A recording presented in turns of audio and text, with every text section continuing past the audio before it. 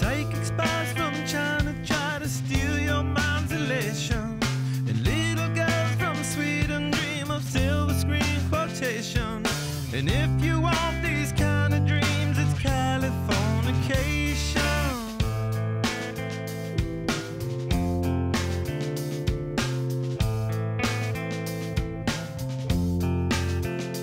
It's the edge of the world in all of Western civilization. The sun may rise in the east, at least it's settled in a fire.